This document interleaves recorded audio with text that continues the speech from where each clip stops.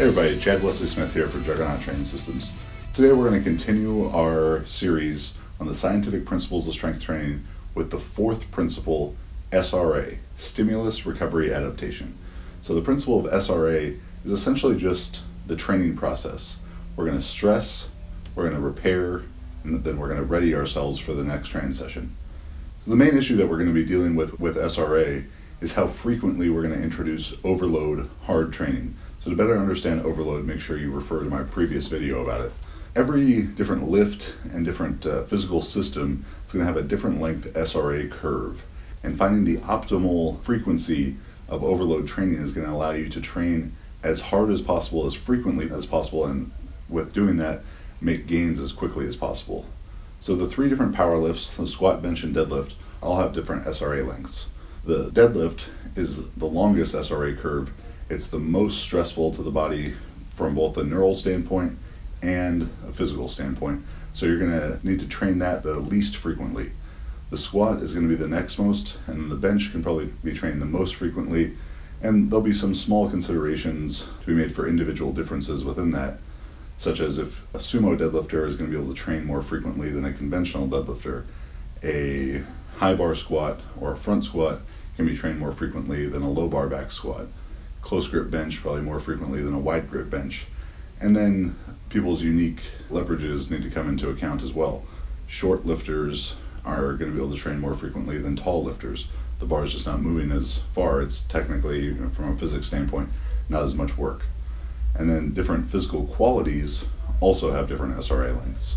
Technique, hypertrophy, force output, and tissue integrity all need to be considered separately when organizing your training frequency based on SRA curves. Technical abilities have the shortest SRA curve, meaning that you can train them the most frequently. And technique can be trained with relatively low intensity. This was where you would start to apply light sessions. To use a, a bit of an extreme example from another sport, if we were to think about a sport like golf, golf is extremely technical, much more precise movement than powerlifting is. Obviously, the intensity of what you're doing is so low because a golf club is so much lighter than uh, you know squat, bench, or deadlift. And golfers could play 18 holes in the morning, 18 holes in the afternoon, repeat that day after day after day. Because the only thing that they're really dealing with is technical SRA, and it recovers very, very quickly, so they can and need to train it very frequently to maximize their abilities.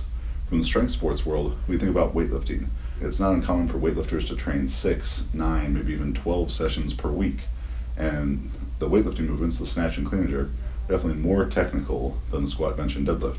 The weights also aren't as heavy, and there's no eccentric portion to the lifts, so they don't create as much muscular damage. So they can and need to train them more frequently to develop their technique to the necessary levels. Hypertrophy is going to be the second shortest SRA length of these different physical qualities. So muscle size is one of the most important underlying factors to strength. The bigger a muscle is, the better chance that athlete's going to have to be exceptionally strong. So, because it's so important, we need to frequently train for hypertrophy. We need to frequently introduce that stimulus to the muscles. But different size muscles, different insertion angles are going to dictate how frequently we can train those muscles. So, in short, small muscles can and should be trained more frequently than large muscles. So, if you wanted to do things like training shoulders, uh, triceps, you know, much more frequently than say your lats or you know erectors, hamstrings. That's going to be a good idea for you. Force production is also a paramount indicator of strength. The better the athlete can produce force, the better they can recruit muscle fibers and apply that into the barbell, the better our lifter they're going to be. And it's been shown that advanced lifters are more capable of higher force production than more novice lifters even with the same amount of muscle mass. So the more advanced the lifter becomes, the longer their force production SRA curve is going to be, and the longer duration they're going to need between high intensity training cycles where they have to call on those abilities for high force production. And then finally, connective tissue integrity. So the health of your tendons and ligaments has to be considered as well. And those are going to have the longest SRA curve of the four physical factors that we're discussing. So really heavy training, you know, peaking type of training is going to be the most stressful to your joints and ligaments. So you're going to need the longest amount of time before that. So as we look at these different graphs, we can see the first point on the graph is where we introduce the stimulus. That's the training session. That's a hard, an overload type of training session. And that's going to induce fatigue. That's as the performance drops down. That's the muscular damage, the stress to the nervous system, the stress to the tissue integrity, really focusing on tendon integrity and neural stress. So the more stimulus you create in that training session, the harder a training session is, and then the bigger, stronger, more fast twitch dominant the athlete is, the more stress they're going to be able to induce. And then as the curve starts to come up, that's as the athlete starts to recover, and then as we exceed our previous abilities, that's the adaptation to training that we've undergone, and now we're ready to do more than we did before. So, failure to allow for sufficient time between introduction of the stimulus, so between the overload training sessions, is going to mean that maybe we don't get past our previous abilities as we recover. We don't adapt and prepare for harder and harder training. So that's the magic of SRA is finding that exact best time of how many times should I squat, how many times a week should I bench, how many times a week should I deadlift. And it's going to be different for everyone. We said the things to really consider about the different lengths is how big and strong the lifter is. The taller they are, the farther the bar has to move, the more work they're doing. The more muscle they have, the more muscular damage that they'll create, the longer it's going to take to recover from that. The more weight that's on the bar, the more neurally stressful it's going to be, the more stressful it's going to be to their connective tissue. So, bigger, stronger, higher weight class, more advanced lifters cannot train as frequently as smaller weight class lifters, even who are very advanced, and particularly not as much as you know shorter, smaller weight class lifters who are more at the beginner stages of their career in powerlifting. So, properly applied SRA is going to look like a well thought out arrangement of your training days. I could say squatting three times a week is good and benching twice a week and deadlifting once a week, but if my days are organized as squat, squat, squat, bench, deadlift, bench, that's not going to be a very good organization and it's going to violate the principle of SRA. Of course, you guys are smart watching this, so I'm not too worried about you doing that, but make sure that you are spreading out those similar days, particularly squat and deadlift days. Probably not putting those back to back or at least if you are putting them back to back, considering why you're doing that within the context of these principles. Finding that optimal frequency is going to be the most proper application. Finding the time that you can train hard and then be recovered enough to train hard again to be able to handle the overload training, maybe not waiting too long to maybe where your fitness has begun to decline. So we've talked about the correct application of SRA, ways that we tend to violate this principle be an under application. It's going to be too much frequency, training hard too often. And I see this happening, I think, more and more with the advent of more high volume, high frequency type of programs. And that's great, but too much frequency isn't going to be a positive thing. So you got to find that happy medium. Very high frequency training could be very good for beginner lifters because they're not able to induce very much stress or very much stimulus in each training session. And the longer they are away from the technique of the lift, the more likely it is for that technique to begin to decay. And as we mentioned, the technical SRA curve is the shortest. So even if it's very light exposure to the lifts, maybe even on a daily basis, beginner lifters will benefit from very high frequency. But as you become more and more advanced, the frequency is probably going to need to, to go down a bit. Another under application of SRA would be the other side of the coin, too low of frequency. Very low frequency training like doing the lifts only once a week or maybe every other week could lead to diminishing fitness. Even though you're very, very well recovered, you don't have enough stimulus to keep the fitness high between training sessions. And of course, there are some very high level lifters who have been extremely successful with very low frequency training, maybe squatting every other week, deadlifting every 10 to 14 days.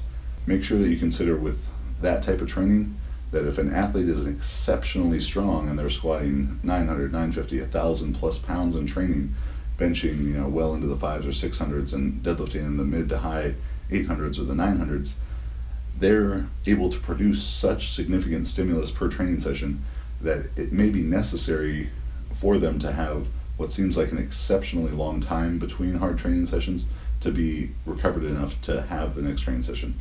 Also, it's important to consider that the use of Soviet sports supplements can help an athlete hold on to muscle mass even with very low frequency training. So make sure that you do consider that. Another under application of SRA, training that's too clustered together. If you went squat, squat, squat, bench, bench, deadlift, the frequency of that lifting is fine, but the organization of the frequency is not what you want, as you're not going to be properly recovered. But even having you know three hard training days in a row, and then several days off, your schedule, your work schedule, your life schedule may dictate that you have to do that. But if it doesn't, that's going to be something that you want to avoid too, because even though squat training doesn't directly affect the muscles of bench training, which you might do the next day, it's still not going to be optimal because of the neural stress that the lifts create, and even some of the peripheral physical stress, like for the low bar squat, if your wrists and elbows are beat up, and that's going to affect your bench training session the next day. So you want to spread it out enough, but not spreading your training out so far that you're losing hypertrophic gains and your fitness is declining in between hard training sessions. An over application of SRA is just the other side of things, is waiting too long, waiting for complete healing of all systems considered. So complete recovery of technical, uh, hypertrophic, force production, so neural qualities, and uh, connective tissue integrity. Waiting for all of those to be 100% healed is going to actually cause some of them, the fitness of some of them, to start to decline because of the varying lengths of SRA curves. So they need to be recovered enough to be able to handle the next train session, but you don't necessarily need all of them to be completely recovered. And that's just going to deal with the idea of fatigue management. I have a very in depth video about that. So make sure you go and check that out. Another misapplication of SRA could be not taking advantage of the idea of functional overreaching with the different length SRA curves, allowing yourself to functionally overreach. So by exceeding your MRV, you'd be getting into a situation where maybe you wouldn't normally be able to recover in the time and the, and the regular length SRA curve couldn't be applied.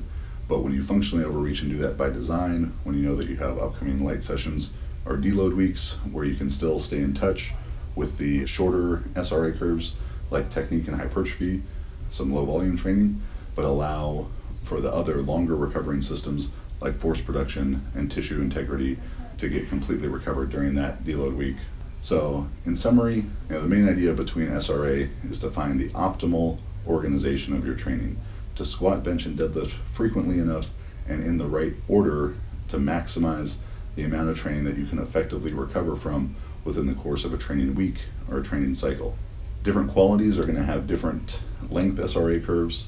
So when you're in a hypertrophy training cycle, you're going to be able to train more frequently than you will be in a peaking training cycle because the qualities being addressed during hypertrophy are much faster recovering than those addressed in peaking, where the neural stress in peaking is so high and the weights are so heavy that they're very stressful to your joint and tendon integrity, you're not going to be able to have as frequent of overload training sessions.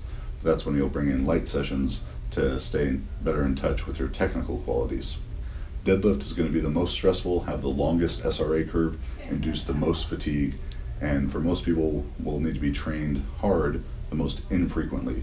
Squat will be in between, and bench will be probably trained the most frequently. Obviously, if you're very, very strong, the weights are very heavy, the lengths are going to need to spread out. You could put light sessions in between that to help facilitate recovery and stay in touch with your technique.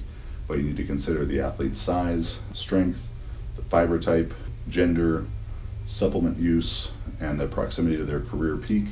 So the smaller, lighter, less testosterone, less weight on the bar is going to need and benefit from more frequent training because of the shorter SRA curves as they get bigger, stronger, heavier weights, they won't need as frequent of training because every training session, every stimulus that they introduce is going to take them that much deeper down in the SRA curve and take a little bit longer to recover and adapt be ready for the next training session.